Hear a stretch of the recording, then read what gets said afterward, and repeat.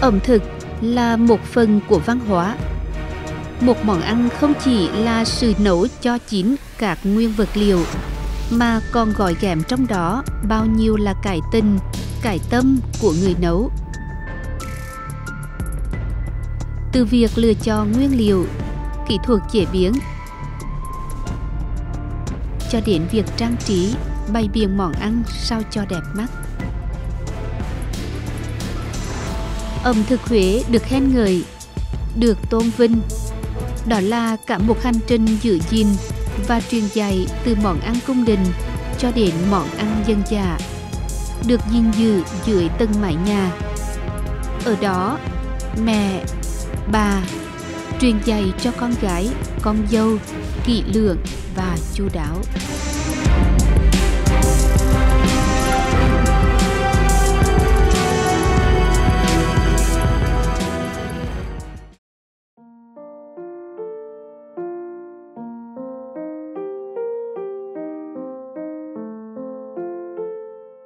Với chuyện nấu nướng, con gái Huệ thường được ba mẹ kèm cặp từ nhỏ. Một trong những việc quan trọng là học cách đi chợ. Trên đường từ nhà đến chợ, cô gái sẽ được mẹ cho biết mùa này có thức gì ngon để mua và cách nấu món ăn đó. Quãng đường này cũng là quãng đường hạnh phúc của mẹ và con gái khi cùng nghĩ đến những món ăn sẽ nấu cho cả nhà với tất cả tình yêu thương và tính toán sao cho phù hợp với mức sống của gia đình.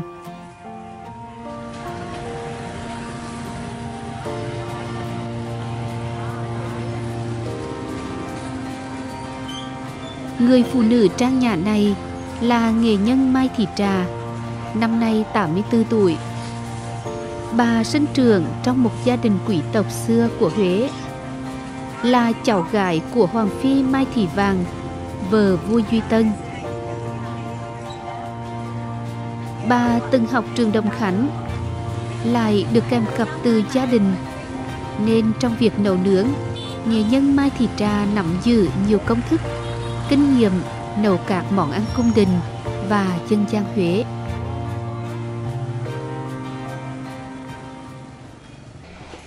Lên trong gia đình có truyền thống.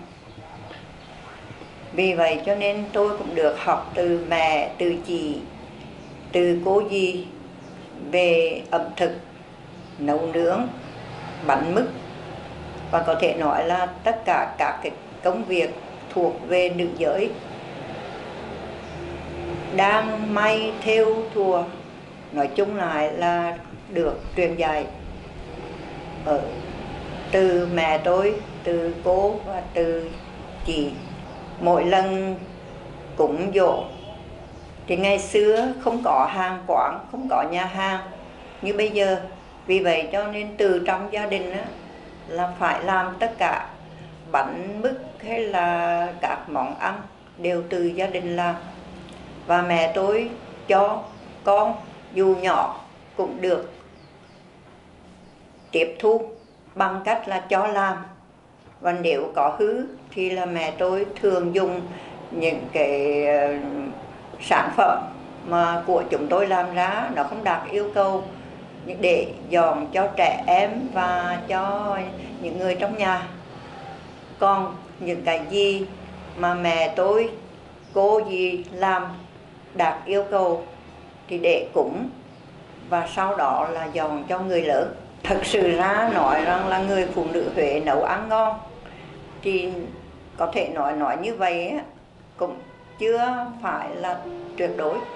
Nhưng mà trong cái tương đối người phụ nữ Huế nấu ăn ngon so với các miền khác của đất nước. Thì có những cái lý do như sau. Cái thứ nhất là nguyên vật liệu của Huế, nó có cái hương vị khác với ở các nơi khác ngay như cái mùi thơm của các cái loài rau cái đặc tính của nó nó bộc lộ rất là rõ. Ví dụ như mình à, ăn cái rau thơm ở Huế nó thơm nó nghe mùi nhẹ nhàng. Cái thứ hai nữa là món ăn Huế nó được tiếp thu từ nhiều nguồn. Từ cái nguồn của người chiếm thành từ nguồn của trong nam ra với những cái uh, bà vợ vua hoặc là vợ các quan theo với triều đại nhà Nguyễn về Huế. Các món ăn ở miền Bắc thì theo cư dân của miền Bắc vào miền Trung. Cho nên nó đạt được cái, những cái yêu cầu đó.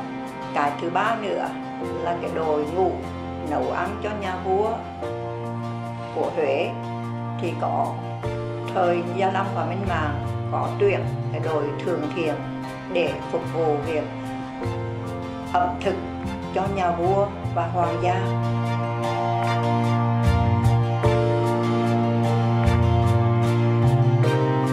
Đây là súp vi cá nấu theo phong cách ngày xưa ở trong cung đình thì muốn cho súp ngon việc trước nhất á, là chúng ta hầm xương để lấy nước dùng và khi có được dùng rồi á, là chúng ta làm ví cá.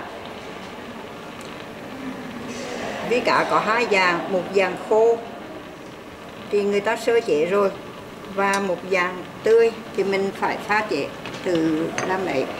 Vì vậy cho nên khi mà làm ví cá thì việc trước nhất á, là chúng ta phải dùng gừng với rượu bóp vào ví cá để cho khử mùi tanh và sau khi mà khử rồi thì chúng ta lọc nước. Bên cạnh với cá thì chúng ta có một ít là tôm, hấp chín. Và chúng ta xẻ nhỏ. Và thịt nạc heo thăng thì là chúng ta cũng xẻ sợi nhỏ. Và khi nấu súp với cá này á, thì nước nó trong, có bỏ vào một ít bột. Có thể là bột bắp hoặc là bột bình tinh hay là bột năng nhưng mà đừng có đặc lắm nó sánh sẵn một chút thôi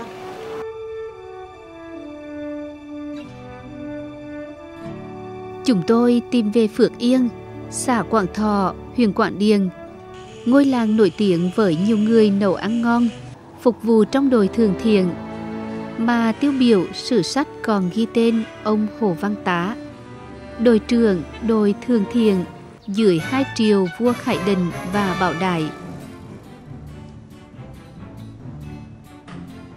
Nhà thờ họ Hồ uy nghiêm, Hầu Duệ bây giờ còn giữ niềm tự hào về tài năng của cha ông cũng như quê hương Phượng Yên với nhiều món ẩm thực đặc sản nổi tiếng.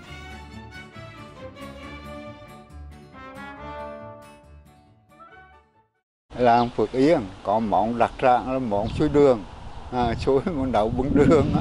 Dạ. Hồi xưa có ông Hồ Văn Tả làm đồ thường thuyền họ nấu cho vua ăn luôn rồi.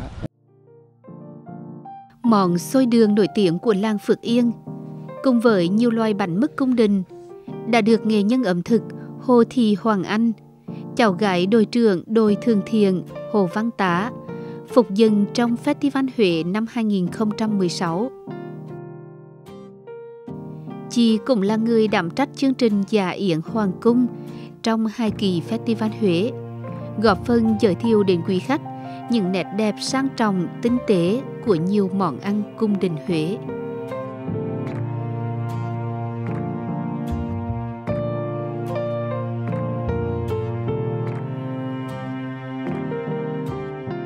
Theo các nhà nghiên cứu, trong kho tàng ẩm thực Việt có khoảng 1.700 món, thì Huế chiếm đến 1.300 món, hiện còn lưu truyền trong dân gian khoảng 700 món.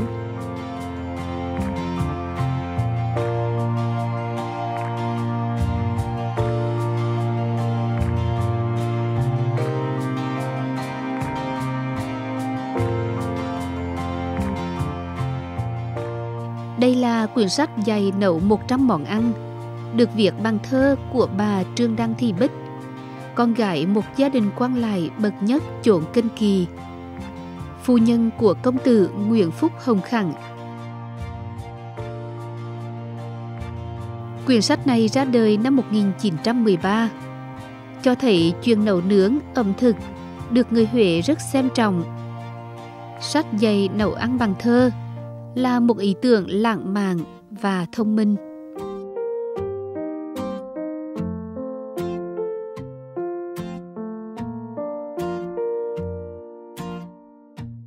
tùy theo những cái món ăn có thể gia giảm thêm những cái gia vị để cho món ăn nó đủ cái chất bổ và không có tác hại. Ví dụ như nếu như món ăn đó thuộc về là hàng lành thì phải thêm gừng, thêm sả, thêm riềng thêm tỏi, vân vân.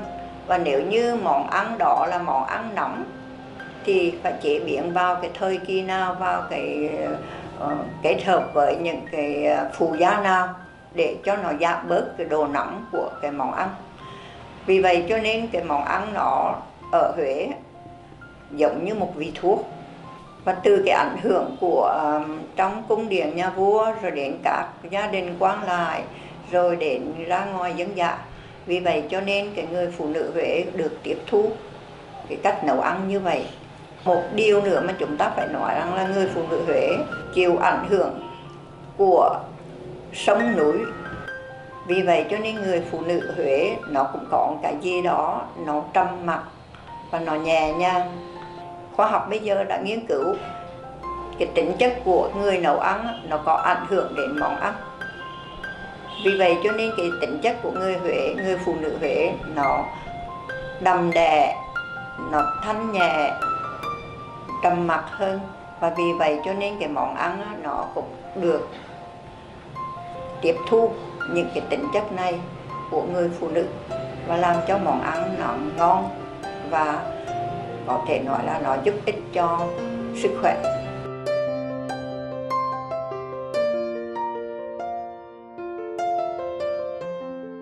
Và món yến trứng với hạt sen như thế này, đây là một vị thuốc, vừa là bộ tỳ vừa bộ phổi lại vừa dễ ngủ. Món này mà ra đời chính là món để dân cho vua. Chúng ta thấy cái mà nguyên chất á, thì nước nó trong này và cái sợi yến á, nó trong và nó có từng sợi. Còn nếu như mà thứ mà không đạt yêu cầu á, tức là cái nước yến á, nó đục và nó sẵn.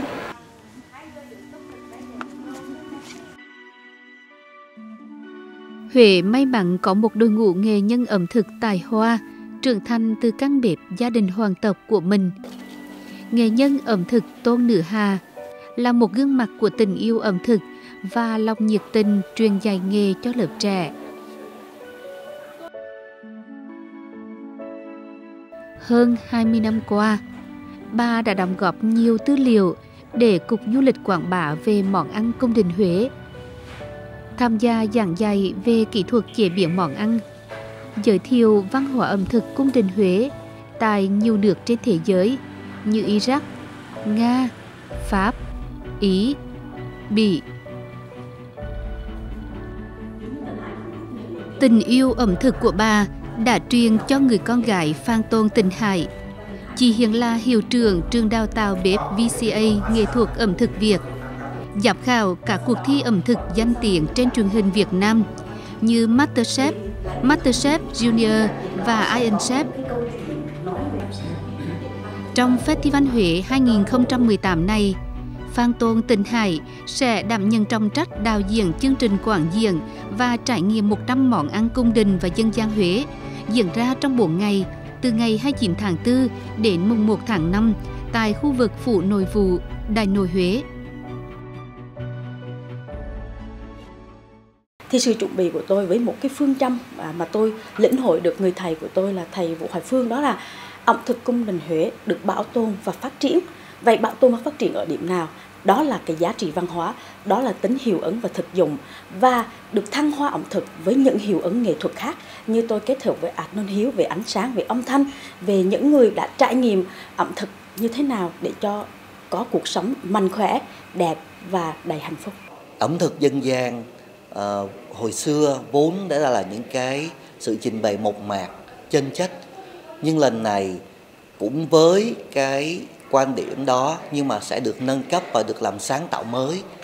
Cuộc sống ừ, nghệ thuật và sự sáng tạo luôn mang tới điều mới mẻ không phải chỉ cho ẩm thực và tất cả những cái sản phẩm khác. Thì lần này mong cái sự sáng tạo mà đẩy món ăn dân gian trở thành một cái món ăn vừa dân gian và vừa nghệ thuật có một cái nhịp thở đương đại mà mọi người đều thấy thích thú và thú vị cho lần này.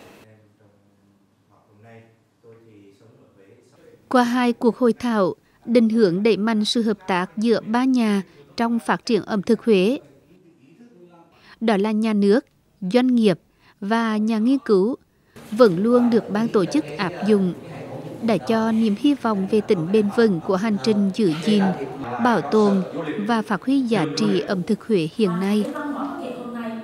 Cái văn hóa ẩm thực của Huế có tiếng từ rất lâu mà đến giờ phút này nếu mà không kịp thời làm để mà khắc phục và phát triển ẩm thực Huế thì chúng ta sẽ rất là bị thiệt thòi. Do vậy, chúng tôi mong muốn là mời các học giả trong nước quốc tế cùng về lại Huế trong dịp lễ hội festival để cùng nhau à, khơi dậy, tìm tòi và phục dựng lại các cái văn hóa ẩm thực Huế, các cái món ăn mà đã thức truyền, cung đình và dân gian để làm gì? Mục đích là để làm cho cái ẩm thực Huế chúng ta phải biến nó không phải của người Huế mà phải là của người Việt Nam và của trên thế giới.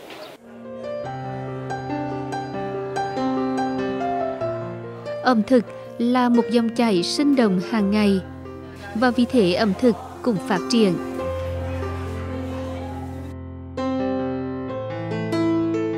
Với giá trị đến từ ẩm thực cung đình và ẩm thực dân gian. Ẩm thực Huế mang tính chất đặc biệt, riêng có, là sự thăng hoa trong từng món ăn với sự tận tâm chu đáo của người phụ nữ Huế.